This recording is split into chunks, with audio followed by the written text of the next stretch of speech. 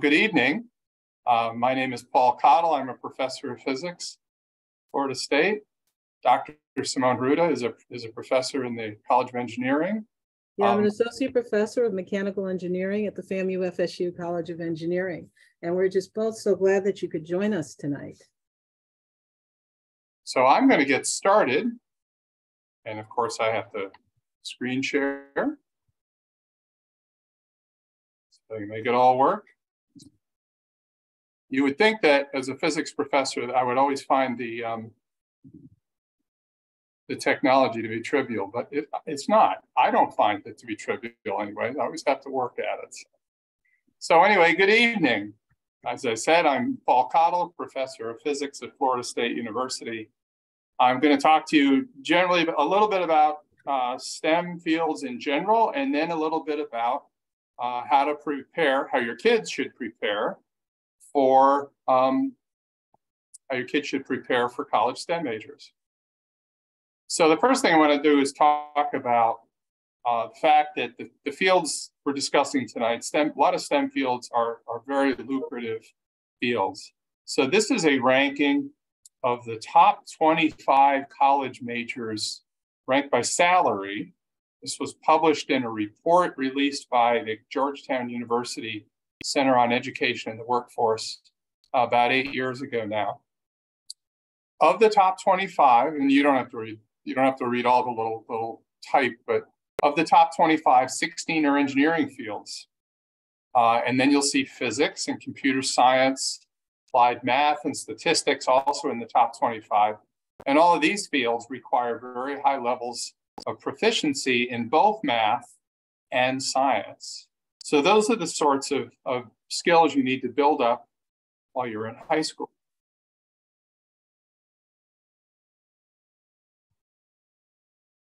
Okay. Now, just to get outside of STEM for a minute, once you get a, a bachelor's degree in a STEM field, okay, you can actually do anything. If you get an engineering degree, you're not stuck doing engineering, although most people wouldn't say you're stuck. Engineering's wonderful. But you can do lots of other things besides engineering. You can uh, go to law school. You can go to medical school. In fact, physics majors and engineering majors and math majors are among the highest scoring uh, people on the highest scoring candidates on the entrance exams for those fields. Uh, I have a, a, son who finished a, a, a, bachelor's degree with a double major in um, double major in physics and economics. He's he's a lawyer now, and he's a very quantitatively proficient lawyer, and that sets him apart from a lot of other lawyers. Um, so the, the, the skills you build up in in STEM fields um, are, are really transferable across a broad range of, of careers. I'll also mention that, you know, you think of engineers or physicists or whoever working in solitary ways. In, in real life, people in our fields do everything collaboratively. We do almost nothing on our own. So we're great at working in teams, and we try to help students learn to, to work well in teams while they're undergraduates earning their bachelor's degree. So now let me get to this next topic. What courses do university STEM faculty say high school students should take to prepare to major in their fields? Um, I'm going to start with the obvious one, engineering. Uh, most, this is, this is what the American Society for Engineering Education says. They say most engineering schools require four years of math, including pre-calculus or calculus or AP calculus is strongly encouraged Engineering schools are also looking for at least three years of science, including physics and chemistry. So our engineering school, you don't have to go through a separate admissions process. If you're admitted to either FAMU or FSU, you can you, you don't have to do anything special to major in engineering. But if you're going to major in engineering, there are some things that you should do, and that includes taking a lot of math in high school, including pre-calculus and calculus if you can, and including physics and chemistry. And let me tell you where some of this comes from. Okay, so I teach the physics course that engineering majors at FSU take, or at least one of the sections of that. So I have, I see 60 or 70 students in that major every year. The students who have not taken high school physics have a much greater degree of difficulty in my class than students who did take high school physics. This, this sort of makes sense if you think about it, of course. In fact, on the average, students without high school physics earn, on average, a, a full letter grade lower than the students who have had high school physics. And in fact, that's not just in my classroom, although that's, that's the result I've got in my classroom. National studies have shown the same thing, that students without high school physics earn about a, a full letter grade lower than students who have taken high school physics. So um, this taking high school physics gives you the best, uh, the best prospect for success in a college physics classroom. That's true in chemistry as well. And you want to take as much math as you can in high school because learning high learning math from a high a good high school math teacher sure beats coming to FSU and having to face your first calculus class in, our math department. Our math department's fine, but high school math teachers can can do things for you that college math teachers cannot. Okay, let's move on to meteorology. Sometimes I have students who are majoring in meteorology who didn't realize it would have been helpful to them to take physics in high school. Let me just look at what the Penn State Department of Meteorology and Atmospheric Science has to say. In high school, students should take earth sciences, of course, physics. Turns out meteorology is, is atmospheric physics, chemistry, and mathematics through at least pre-calculus. Generally, students who have completed a course in calculus and or a course in computer programming will have an advantage. So uh, this is this is basically the same thing as I talked about with engineering. If you have these courses, you're in a much better position to succeed than if you don't. Now, the computer programming thing is important. All of our fields um, use a lot of computer programming. And so it's best to have some computer programming in high school before you come to college. However, don't let the computer programming class substitute for a physics class or a math class. You want that computer programming class to be in addition to physics and chemistry and the math you need. So just, just keep that in mind. Now, computer science. Now, you might, might not have thought of science and math as being important in computer science. But at most institutions, a computer science major needs to uh, complete two semesters of physics and a whole lot of mathematics and calculus. so the, the head of the uh, UCF computer science department talked to the Orlando Sentinel in 2019. And what he said was that a strong background in math and science, including calculus and physics, is possible is key for success. So he didn't even talk about the programming, although, like I said, taking programming classes in high school is great. He talked about the importance of getting calculus and physics underneath your belt in high school to have the best chance for success in a computer science bachelor's degree program. Uh, chemistry. So here's what the University of Washington Department of Chemistry had to say. The ideal high school preparation to study chemistry and or biochemistry, excuse me, includes four years of college preparatory mathematics, one year of physics, one year of chemistry, and one year of biology.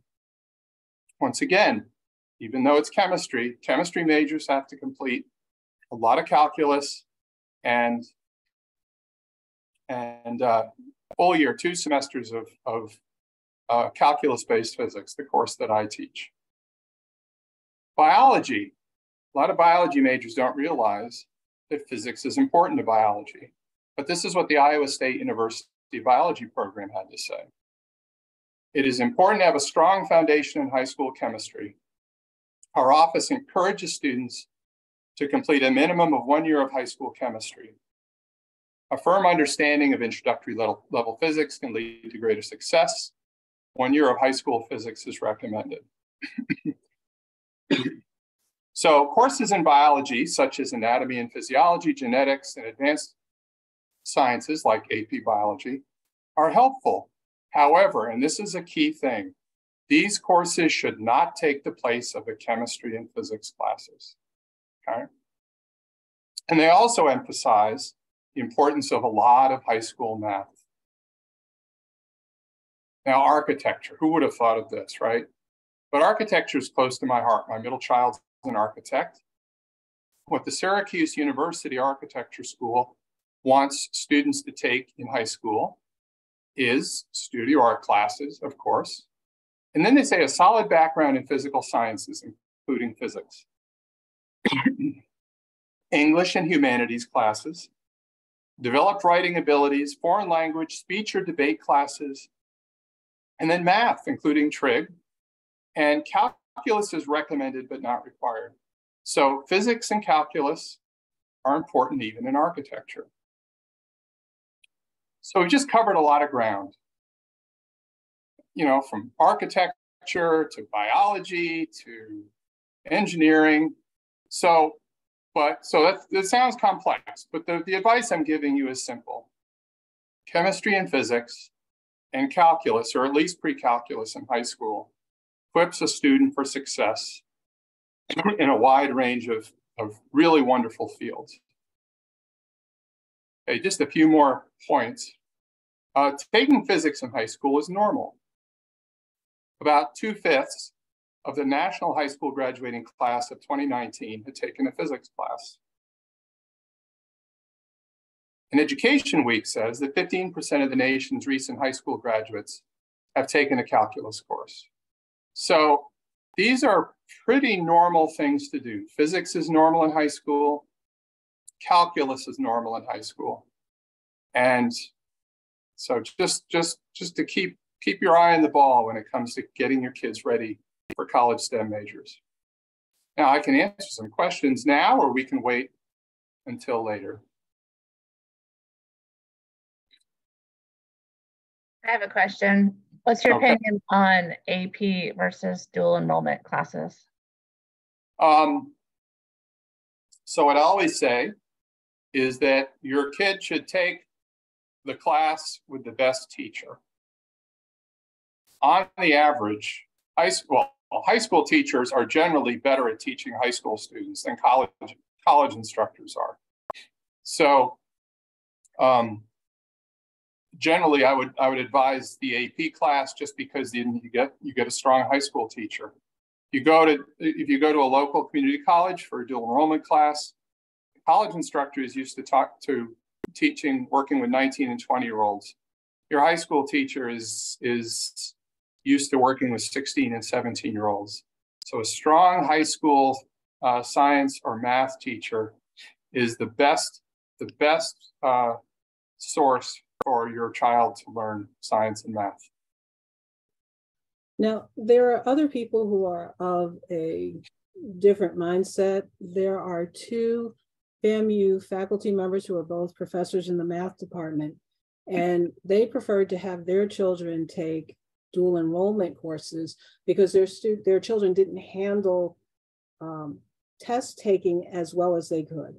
And with the AP course, the AP exam is it. That determines how much credit a student gets. So they knew that their children could not handle that kind of stress. So they had their children uh, take courses dual enrollment because the grade in the course, they could actually get a letter grade. It wasn't um, a number grade that where if they had a bad day, that's it, it's a bad day.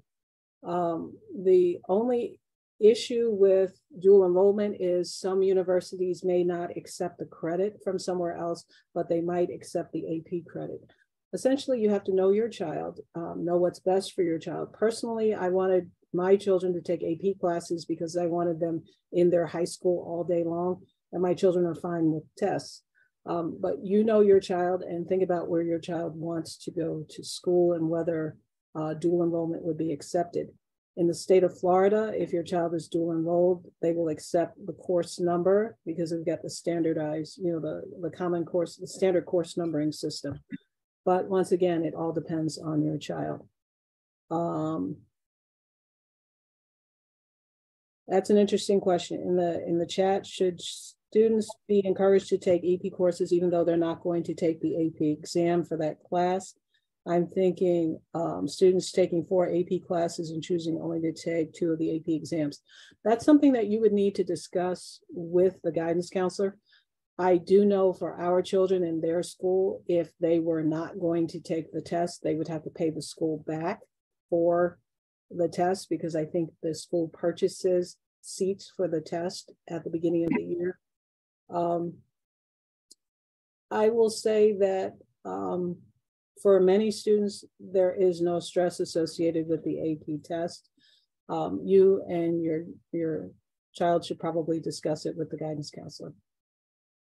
Dr. Cottle may have a different opinion on that.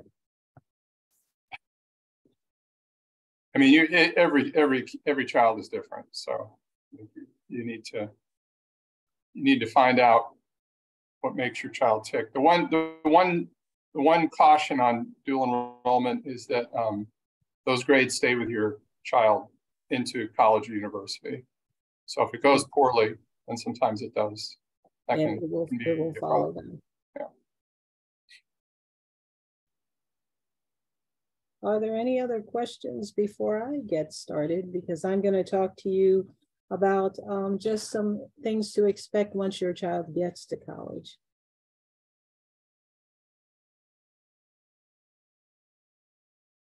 All right, Dr. Hruda, I think it's your turn. Okay, I'm going to try to share my screen and hope for the best. Good. Sometimes things work and sometimes they do not work. So hopefully um, you're seeing everything. I am Simone Peterson Hruda. I'm an associate professor of mechanical engineering at the FAMU FSU College of Engineering. I've been at the College of Engineering for 28 and a half years. I'm originally from New York City. Um, and I had a life before I came here as a professor and and now I'm actually enjoying Tallahassee quite a bit. I enjoyed it when I got here. Um, Let's see what we've got going on here. A whole lot of nothing. Okay, so the question is, when your child gets to college, what's, uh, there were some questions that we thought you might have, and what's the realistic course load? What do professors expect, and how do they get to graduation? Well, let me start by saying our course load. The engineering program is 128 credits. Many of the courses are three credits. Um, some of the earlier foundational courses are four and five credits, calculus and physics, but many of them are three credits. If you're looking at being in college for four years, that would be eight semesters, you'd be averaging about 16 credits a semester. Our program is actually nine semesters. It's four years and we expect students to be here one summer. State of Florida would like students to be here for at least nine credits over the uh, over all of the summers. Our program plans for students to be taking um, nine credits over their first summer. So you'll be averaging about 15 credits a semester. Looking at the path to graduation, um, the first year that a student is here, we expect them to take classes in the fall and the spring. Um, that first summer, we're hoping and expecting them to take classes. The second year that they're here, they would be taking, as sophomores, they'd be taking classes but we don't plan for them to be here over the summer. We're hoping that they can get an internship, which would be um, a job in industry at a national lab or possibly uh, doing research at another university. Um, some students want to explore things. They may want to uh, work at a summer camp, but the whole thing is we don't plan for them to be here a second summer. The third year, we expect them to be taking classes. And that third summer, we're hoping that our engineering students will be going out and getting some experience and then the fourth year, they take classes and then they graduate. Now, let me say that this assumes that your student, your child, will be taking calculus one and chemistry one the first semester they get here. Now, if a student is coming in and they have to take college algebra or a math that comes before calculus, you should plan to be here for two summers because um, to graduate four years from starting or plan for an extra year. And that's because the engineering program, the clock that we set in terms of saying you can graduate in four years begins with calculus. If your child doesn't have calculus, it's still possible to get an engineering degree. Just realize it may take a little bit longer. Um, so looking at what professors, what faculty expect from students. We expect students to put three hours per week outside of class for each credit hour. So if that student is taking a three credit course, we expect them to spend about nine hours a week outside of class. And that nine hours would include reading, doing homework, reviewing, just thinking about what they're learning. So if your child is taking 15 credits, they would spend about 45 hours outside of class uh, doing work to support their learning. If they're taking 16 credits, 48 hours. That's why we call them full-time students. It's a full-time job. Now, some students will have work study, and what they have to do is manage their time. There are 168 hours in a week.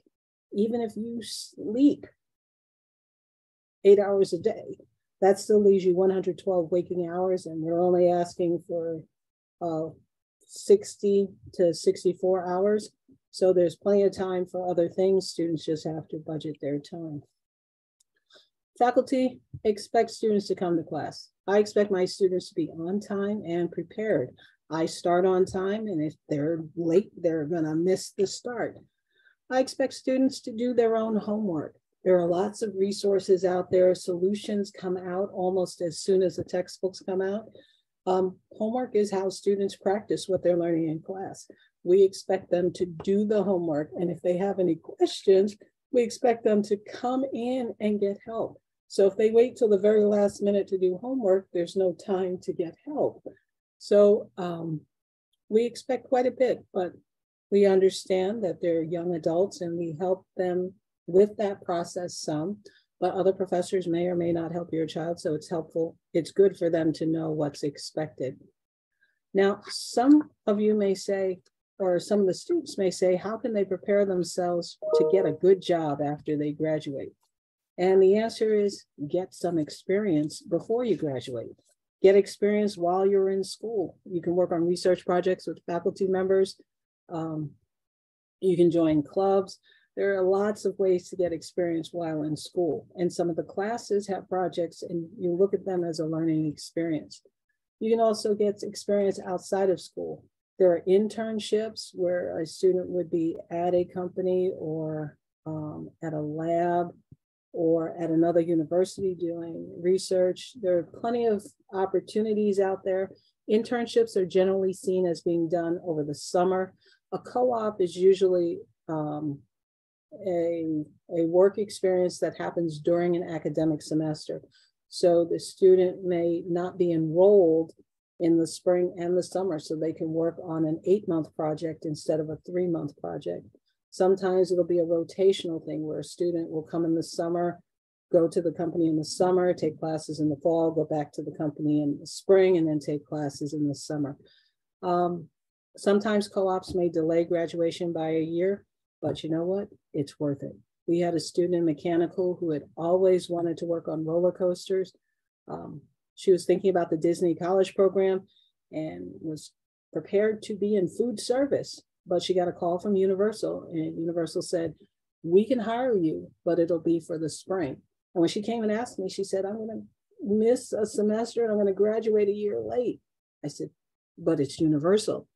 Anyway, she got, she did that in the spring. She took some classes in the summer. Universal called her two weeks into the following spring and said, We've got another co op for you. She said, I'm sorry, I've already registered for classes. They offered her an internship over the summer. And then two to three weeks into the internship, they offered her a permanent job after graduation, and she's now designing um, the attractions, some of the attractions there at Universal. In terms of other outside experience, there are REUs, research experiences for undergraduates. There are over 700 programs in the country where students can get experience with research at other universities. The programs are pretty much the same because many of them are funded by the National Science Foundation. They run about 10 weeks. The student gets between five and six thousand dollars as a stipend. Their housing is usually their housing is usually covered. Food is sometimes covered, and they cover transportation to the site and back. Um, so that is also a wonderful opportunity, especially for someone who's interested in going on after they graduate to graduate school. And then uh, you can get experience by volunteering. Sometimes you can't be paid, but there is work that can be done um, around campus at different uh, companies. So, and sometimes you can shadow engineers or, or volunteer your services back home. Uh, one of the other things you're going to need when you're looking for a job are references or recommendations, and you need to get to know the faculty members. It's good to have someone in your major be able to say you are competent, that you're hardworking, that you understand the subject matter. Um, you can also get references from your employers or supervisors. So if you've had an internship, someone can talk about your work ethic and your ability to function as an engineer or a scientist. But don't overlook your employer, say at Publix, the grocery store. If you've been employed at Publix for four years, it means you're a good employee. They wouldn't keep you on for four years if you were not reliable. So um, previous employers are great references. Uh, one of the last things you can do, well, it's not the last thing, but uh, the last thing I'm going to list is using the Career Center at the university and the career fairs. Both FAMU and FSU have career centers. Each school has their own career fair. And then there's a third career fair that happens at the College of Engineering because um, the companies are interested in engineers and they want them from both schools and they can get them all at one time. Uh, the Career Center can help you with a resume. They can help you put together an online portfolio. So that would be drawings and photos of things that students have designed and created or engineering type work that they've done. Um, the Career Center can help you get information about the companies. They can help students prepare for an interview by doing mock interviews. And then the Career Center, in conjunction with some of the employers, have information sessions where students can learn more about what the companies do, what the engineers are doing at those companies. Because many times, yes, there's an HR person there, but they also bring an engineer for recruiting. Um, the question is, how can you set your child up to be a successful college student? Well, you can encourage your student, your child to have good study habits. They have to be self-motivated. When a student gets to college, um, it's not the same as high school. If a student chooses not to come to class, maybe the professor will call them or email them, maybe not. Um, if they're not there, they could fail. So your your child has to have the motivation within themselves to get to class. Your help your child to become comfortable asking for help. If they're not understanding something, asking for help is not a weakness. You can get help from faculty members, you can get help from other students. Um, we have some undergraduates who help out in class. They're learning assistants. We also have teaching assistants. Um, there are a number of resources available to your child. There are also resources on campus uh, there's the Academic Center for Excellence. Uh, there are academic coaches. There are different places where students can get help. Um, encourage your child to be curious, that they are willing to try things, even if they don't know if they're going to succeed, because it's in trying that we learn. And as engineers, when students are learning, we don't expect perfection. When they graduate, we don't want them to make big mistakes then, but we want them to explore and learn while they're in school. Parents, please remember this is your child's major. It is their major. It's not what you wanted to do and never got around to. Let them pick their major. If they don't know what to do, then encourage them to explore or look at it this way. Hopefully, they love what they're doing.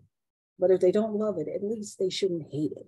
So if you can't figure out between you and your child, you can't figure out what they love, at least know what they don't like, and then make sure that's not on the list of things they're going to do. Um, you got to ask yourself, does your child like science and math? You know how miserable you are doing something you don't like. If they are really into um, history and politics and they don't like math and science, perhaps they should select another major. If they love everything, STEM is great because there are lots of jobs in STEM and they can do other things. Several of our students will go on to law school and med school and business school. Um, engineering is and, and STEM is a great jumping off point. Please encourage friendships and teach your child how to make friends. with people who have similar values, similar goals, and similar interests. If they are friends with someone who has different values, sometimes they get caught up in stuff. So you have to teach your child to make wise choices in the friends that they uh, make, in the activities that they participate in, and definitely smart choices about finances. Because once a stu- student gets into a financial hole, hole and they're not comfortable talking with their parents about it, then they try to get a part-time job and then it just it spirals downward. And so teach them how to manage their time and their finances. They come to college to have some fun, but they're students first. And hopefully they have friends who are also focused on graduating. The last thing you can do as a parent is, and it's the most important, is give your child unconditional love. Your child does not want to disappoint you. So even when they come home with a C and it's not the grade you wanted, still love them because hopefully they were giving it their best shot, or you guys can discuss it and maybe they'll give it their best shot next time. I'm going to stop here, and if you have any questions, I welcome them. All right, you folks have questions, you can put them in the chat or you can just unmute and, and let us know what they are.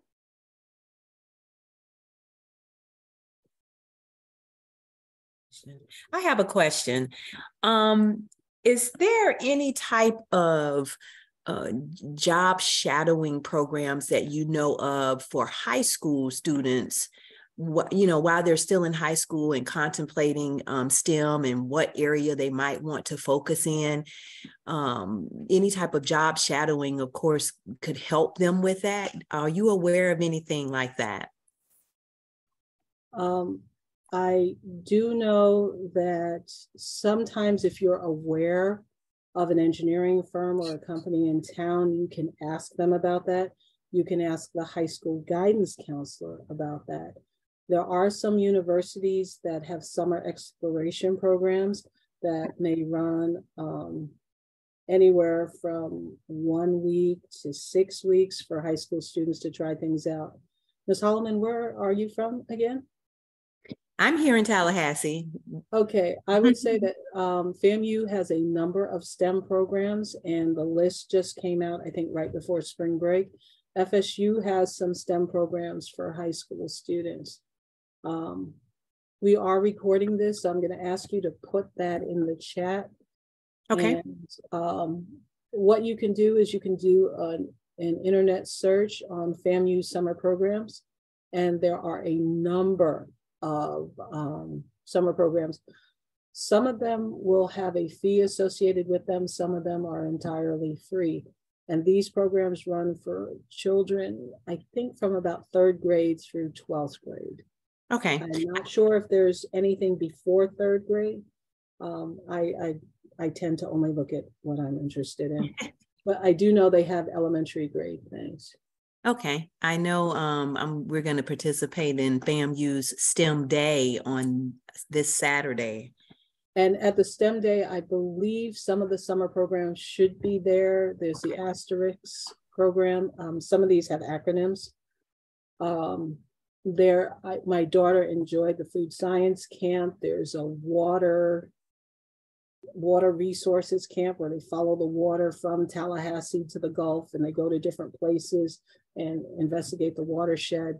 There are some bug camps. Um, the Challenger Center has some camps. The Challenger Center is a little bit more on the expensive side, um, but there are several camps available. What age group are you looking at? Um, my son is a junior in high school. Okay, he can't do the bug camp, but um, there, there are a number of programs. There's one that uh, Dr. Shonda Bernadin is running at the college. That's Asterix. Um, she's got a mini robotics one. So there are four different camps. Okay. There. Okay. Um, yeah, but- he he was con- he was considering chemical, and then he recently switched to mechanical, and so we were trying to get him exposed as much as we could to both, so that he Okay. make sure that he you know is making the right choice for him. Yeah, and and what I would say is you can speak with the guidance counselor. It's getting a little bit late, but different universities do have introduction to engineering programs. They run about two weeks and they do an overview of the different engineering disciplines. Those are generally residential programs. Okay. Um, I am not sure if we have a residential program, but um, but um, there are a number of programs throughout the country, and transportation is covered for some of them. Okay. I see a question in the chat. What are my thoughts about double majoring? Um, is an engineering school or a computer science major thought to be too strenuous for a double major? And then the second question is, what is the best time for a high school student to visit to visit FAMU, especially if the student is undecided on a major but wants to have an opportunity to do, uh, visit the different colleges at FAMU? The College of Engineering does its tours on Friday, so you would sign up from the College of Engineering webpage. But I would say contact FAMU admissions. Ms. Carpenter had asked a question. Contact FAMU admissions to find out um, when the, days of the week that are good for visiting. In terms of your child coming to Tallahassee, when is a good time in their college, in their high school time to visit a college? Um, whenever you have time to go see one, whenever you're going to be in that part of the country. So if for some reason you're going up to DC, um, I don't know why you go to Washington, D.C. for the cherry blossoms or something. See what colleges are there and um, see if you can plan a tour. It's never really too early because you can always go back. But if you're ever going to be in an area, uh, check with the university. Getting back to double majoring in the state of Florida, they want you to get in and get out. Okay, get in, get out. So State of Florida doesn't want you to take extra classes. And if you go over what's required for your degree by 20%, more than 20%, they're going to charge you double tuition. Now, if you do a double major, it's going to take you longer and you're going to go over the 100, well, 120 for most majors. So that lets you go over by another 24. When you hit 144, they're going to charge you double tuition. If you're doing a double major, you will pay extra, but after you graduate, you can apply for a rebate for the extra charge. Because the state of Florida knows that if they don't get the money from you and you don't get the double degree, you're not going to give them the extra that they didn't charge you, but you sure will ask for your money back. Um, thank you for putting your question in the chat, uh, Ms. Holloman. Uh, Dr. Cottle may have some answers. I'm sorry, I took all the questions. Well, I was just going to mention we the, the, the, music major. If you're if you're a perform music performance major, um, you're basically on the hundred hour week, and that's without anything else going on. Uh, our experience in physics is people who try to double major in physics and music don't sleep at all. They use up that entire 168 hours uh, that that Dr. Hruda was talking about. So that's probably not practical. There is a there is a liberal studies sort of a, a, a music light major that you can do as a, as a second major, and that that works fine. By the way, some some double majors work out okay. Um, the physics majors, for example, find they can just add a few courses and get a complete a second major in, in math um, or computer science. So some things work out. There are sort of pairs of majors that are kind of compatible but um, if you, you know, music is generally really a really uh, challenging major, and and it's it's it's perpendicular to what we do in the STEM fields. So um, that's that that pairing would probably not work out. Yeah, we, so computer science and music can sometimes go together. And if your child has a specific interest, like in acoustics or electronic music or music production. Mm-hmm. Um, that's where getting an internship in the industry might help. So I, I see your, your child wanting to put two things together for a purpose. And sometimes you may want to have an interdisciplinary, a major in interdisciplinary science. Uh, that's when the university puts together a custom major for your child. That's a little bit um, on the risky side because some employers may not understand that double major. But if your child is looking for a particular industry, you should come here and see if that can work or find a school where they have actually combined those two things. So like if your, your child is interested in electrical engineering but wants to do game design, you can force the fit here, but there are some schools that specialize and have a major in game design. So see if you can find a place where it's already been integrated if we cannot do that here. There's um, there's there's okay. also lots of lots of performance opportunity, music performance opportunities at FSU for students who are not majoring in um, not majoring in music. So I have an engineering major in my class who just spent a week in the Dominican Republic uh, performing with an, an FSU ensemble there. Um, I had a student a few years ago finished a bachelor's degree in physics and went on to work for a, a technology firm who uh, came as a, as a piano performance major and then switched to physics her second year. But she continued to perform with ensembles while she was a physics major, and that works fine. It's just that the music performance major itself is really, really tough. Okay. Oh, um, now we skipped a question from Sylvia yeah. Walsh. Are there introductory uh, classes? Walsh, yeah, she had a question about introductory. Uh, we have a first year engineering lab. So it's a course that students should take their first semester. Some take it the summer when they're coming in, others may take it their second semester. But within the first two semesters, we have a first year engineering lab where students are exposed to the different disciplines. They're exposed to um, the College of Engineering and how it works and then some fundamentals um, of engineering. They do little projects and um, they learn about the process of problem solving. We hope that they carry that knowledge over, but sometimes they forget because it's another year before they actually get to their engineering classes. But yes, there is an introductory course where they get to learn about all of the disciplines. All of the students who come into the College of Engineering are coded as pre-engineering so they may be pre-mechanical, pre-chemical, pre-electrical.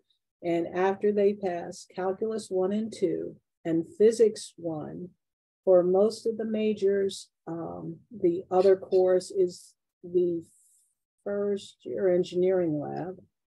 Um, for the chemical engineers, chemistry one's in there somewhere. I can't remember. It's usually four classes, but if you have physics, two calculus, first year engineering, and chemistry, that's five. Once they have a C or higher in those classes, they get their major changed from pre-engineering to engineering. Um, Ms. Walsh, does that answer your question? Sorry, I, I, I missed it. I saw it and it I thought it was like summer programs, but you were specifically speaking for incoming students.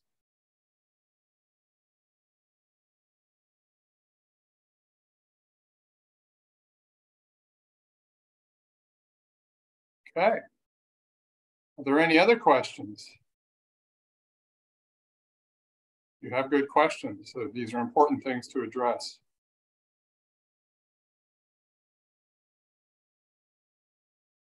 Any other questions for us? Don't be afraid.